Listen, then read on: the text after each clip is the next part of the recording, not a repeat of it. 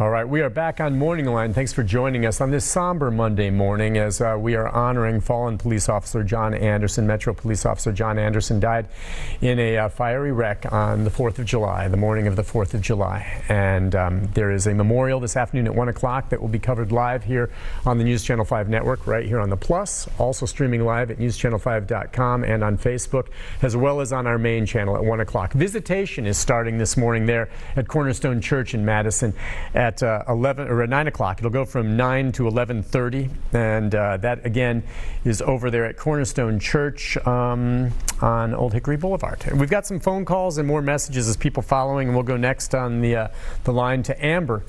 Amber, good morning. Hi, Amber. Hello. How are you today? Well, it's it's a somber morning, isn't it? It is, and I really hate this situation because um, I first want to say my prayers go out to his family but also to the family of the teenager because I once was a teenager and I've done some of the same things, you know, that she's done, sneaking out, stealing the car. You know, um, I believe the saddest part is that when she left out the house that night to have fun, of course, I don't feel like she left out of the house to kill someone, but sometimes when you do things that you don't have any business, thing, even worse things happen and there's consequences that, that go with that. Um, do I feel like she can be rehabilitated? Yes, I do. She's 17 years old. Um, I don't feel like she should get life in prison mm. um, or the death penalty for um, for this action, um, even though it's one of the worst actions that could have happened. Um, vehicular homicide is very serious. But um, I want to say prayers for both the families because both the families are at loss. Of course, the police officer's family, his his son, his wife, you know, um, even his close family that are police officers also. But this girl, she is also uh, at loss, and her family is too because when they went to sleep at night, they didn't know their car would be stolen either, you know. But we as teenagers sometimes they they go out of the way and they do too much now one of the things i do feel like that should be done in the state of nashville a lot of funding has been cut for the last 10 to 15 years for all the different programs that do help these teens out and some of that is a result of what can happen when government funding for for programs for teenagers has been cut. They don't have anything to do, so they have nothing to do but get into trouble. Mm-hmm. But um, like I said, I once was a teenager, and I and I've done these same things. And um, I'm just thankful that I didn't get into anything of that nature. Listen, I, I do appreciate your call, and I think that's a good perspective. I think on a morning like this, the anger and, and you know, the, the tears that come with uh, a fallen officer. People are so angry and, you know, there are some who probably think, well, she should be charged with murder and locked up and, and, sent to prison. For, that's not happening, and with good reason that's not happening, okay?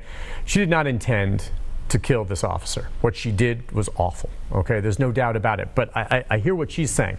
I think we all did some foolish things in our youth, all right? And, you know, be it going joyriding, not paying attention, running a stop sign, whatever, and maybe you were lucky enough not to hit someone, okay? That's not to excuse anything what this, this teen has done. But she's accused of vehicular homicide among some other charges, but the most serious is that. That can be 8 to 30 years in prison, okay? That's the range in Tennessee. Anywhere from 8 to 30 years in prison. Is she going to do 30 years? Absolutely not. It's not going to happen. Okay. We don't even know if she's going to be transferred. I think one thing that will play into what type of sentence she does get, especially if she's transferred to adult court, will be whether or not they found that she was under the influence when she was behind the wheel. Now, we don't know. There was no indication of that, and police have not said. Now, she was taken to the hospital after this wreck, and because someone lost their life in the wreck, all right, they're able to draw blood from her, okay? So there's going to be a toxicology on her. Now, if it comes back that she's drunk or was on some kind of drug, that's going to make things worse for her, all right? But uh, as everyone gets so angry, and I see this, and I'm angry, and it makes me mad, and I hate the tragedy of all of this, okay? Let's just make sure we put this into context. This is not a serial killer. This is not someone who plotted to kill a police officer. That's the worst of the worst. This is a teen that made a horrible, horrible mistake, that did something she shouldn't have done, and that she should have known was dangerous, that accidentally killed someone. And she will be punished in that way. Just so you understand, that's where the law is. You may feel otherwise, but under the law, that's the way it is. And frankly, that's the way it should be. This is not some mass murderer. This is not someone who planned this and, and decided to kill a police officer. All right? But what she did, she will be punished for, and she could face a lot of time behind bars if she is transferred. All right, let's go next to uh, Susie. Susie, good morning. Hi, Susie. Good morning. Good morning, Susie. What's on your mind? First, I'd like to give my condolences to the family and the police officers. My question is, I don't know if Nick can answer this, but it might be addressed to Glenn Funk.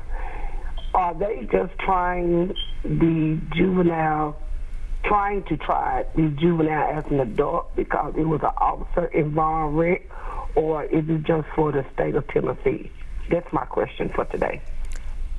Okay, I'm not sure I understand exactly. I think what Glenn Funk is probably going to say that he would seek this possibly regardless of whether or not it was an officer that killed was killed. Now I think we can all agree because it was a law enforcement officer killed in the line of duty in some ways that enhances the severity of this. Now the loss of life if that was you or me would be just as great and just as horrible but because of an officer that's a question for for General Funk and I don't know that he would answer it. Um, is would you have sought transferring this 17 year old if she had hit and killed someone else that wasn't a police officer. Do you think?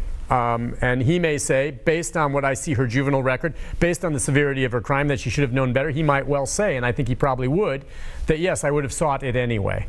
So that's where I think that comes down. Um, yeah, but I, I, don't know. I can't answer for him. But um, yeah, they, they oftentimes seek to transfer children for and teens very serious crimes. And I think this qualifies as a serious crime. That's where the judge, the juvenile court judge, will make the call. Let's see. Let's go quickly to Danny. Hello, Danny. Hi, Danny. Good morning, Nick. Good morning, Danny. First of all, I would like to thank News Channel 5 for covering this such sad occasion that we're going through now. And I, I would also like to pay my respects to Officer Anderson and his family and his co-workers I was on the police department back in the late 70s. So, yes, this is my brother. And I would like for people to understand. I hear a lot of talk uh, this morning about the suspect and, and things like that, but I want people to understand being a police officer, man or a woman, it's not a choice of, well, I need a job, I'm going to go sign up for the police department you're you're born to be a police officer. It's a passion that you have. And that was the way with Officer Anderson. He had a passion to make a difference in Davidson County. Mm-hmm. And we all we all need to remember that. I think you're absolutely right. And and I think um, we had a window into that in some of his writings and what he said after he was sworn in as an officer four years ago, and just how important it was to him. So I agree with you, and that's a fine call. Listen, let's take a break. We'll be back and wrap things up right after this.